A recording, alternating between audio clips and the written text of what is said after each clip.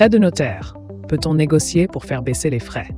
Les frais de notaire représentent une part importante des coûts lors d'un achat immobilier. Ils sont souvent perçus comme non négociables, mais il existe en réalité quelques moyens de les réduire. Bien que la majorité de ces frais soient composés de taxes reversées à l'État, il est possible d'alléger la facture sous certaines conditions. Découvrons ensemble les astuces pour négocier ces frais et maximiser vos économies lors de votre achat immobilier.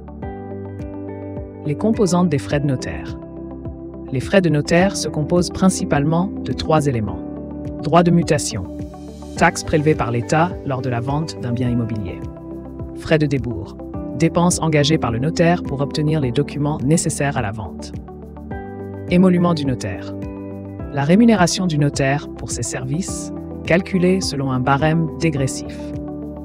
Les droits de mutation et les frais de débours sont fixés par l'État et ne sont pas négociables. Toutefois, la rémunération du notaire, qui représente une partie moindre des frais totaux, peut parfois être réduite. Négocier les émoluments du notaire. Depuis la loi Macron de 2016, les notaires peuvent accorder une remise de 10% sur leurs émoluments pour les transactions supérieures à 150 000 euros.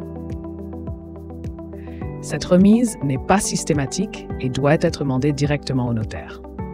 Si vous êtes éligible, cela peut représenter une économie notable, surtout pour les achats immobiliers à montant élevé. Il est conseillé de comparer plusieurs notaires pour voir ceux qui proposent cette réduction. Déduire la valeur des meubles.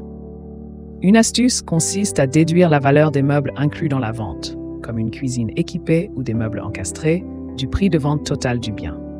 En effet, les frais de notaire ne s'appliquent que sur la partie immobilière du bien. La déduction de la valeur des meubles permet ainsi de réduire la base base de calcul des frais de notaire, à condition que cette valeur ne dépasse pas 5% du prix de vente du bien. Cela permet une légère réduction, mais toute économie est bonne à prendre lors d'un achat immobilier les frais dans le neuf et autres astuces.